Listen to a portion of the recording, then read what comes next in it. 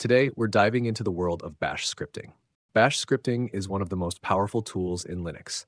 It helps you automate tasks, manage files, and even build complex workflows with just a few lines of code. Whether you're a beginner or just curious about how scripting can make your life easier, this video is for you. We'll go through 10 practical examples to help you understand the basics of bash scripting step by step. Uh, by the end of this video, you'll have a solid foundation and be ready to start writing your own scripts. So grab your terminal and let's get started. Let's start with the first one. In bash scripting, you can use the echo command to send an output to the terminal.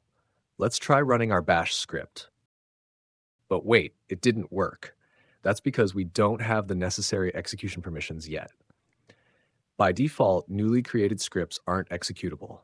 To fix this, we need to grant execution permissions using the chmod command. Once we do that, we'll be able to run our script without any issues.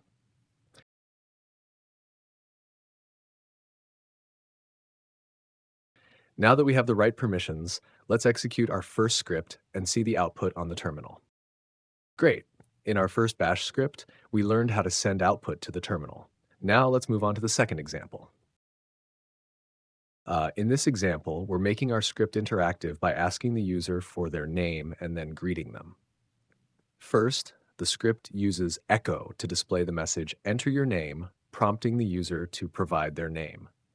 Once the user enters their name, the read command takes the input and stores it in a variable called name. Finally, the script uses another echo command to display a greeting saying hello, followed by the name the user entered. This allows the script to respond directly to the user's input, creating a simple interactive experience. When you run the script, it prompts you to enter your name. After you type in your name, the script uses the echo command to display the greeting with the name you entered. For example, if you type John, the output will show Hello John on the screen. It's a great way to see how Bash can handle user input and output dynamically. Now, let's move on to the next example. In this script, the user is asked to input two numbers. These numbers are then assigned to variables. After that, the script adds the two numbers together and stores the result in another variable. Finally, the total is printed on the screen using the echo command. Let's test it right away. I'll input two random numbers and the script will calculate their sum and display the result. Let's move on to the next example.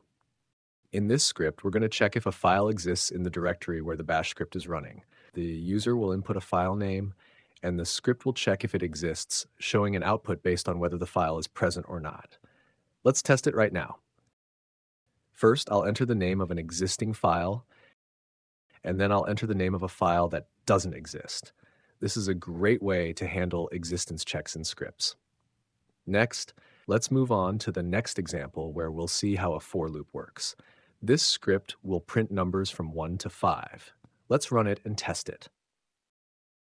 When you need to use a for loop in your scripts, you can use this approach. Now, in the next example, we're going to perform a password check. First, a password is assigned to a variable, and then the script asks the user to enter a password. The while loop will keep running until the correct password is entered.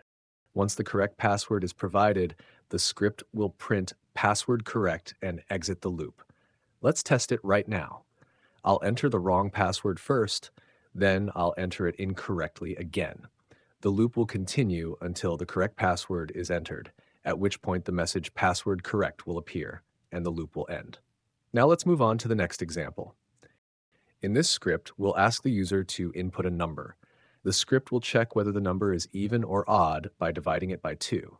If the remainder is 0, it's an even number. Otherwise, it's odd. Let's run it and test it.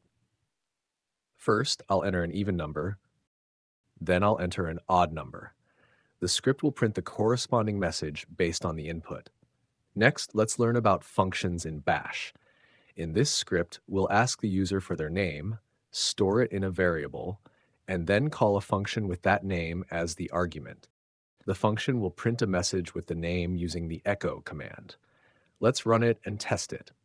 I'll input a name, and the function will display a message with that name. Now, let's move on to learning about arrays. We'll create an array with multiple elements, and the script will use a for loop to print each element of the array on the screen. Let's test it right away. You'll see that the array elements are printed one by one as expected. Lastly, in this example, we'll write something to a file called output.txt using the echo command. The file doesn't exist in the directory yet, but the script will create it. Afterward, we can use the cat command to check the contents of the file. Let's run the script. The output.txt file is created in the directory, and the values specified in the script are written to it. In this video, we've learned the basics of bash scripting. Thank you for watching.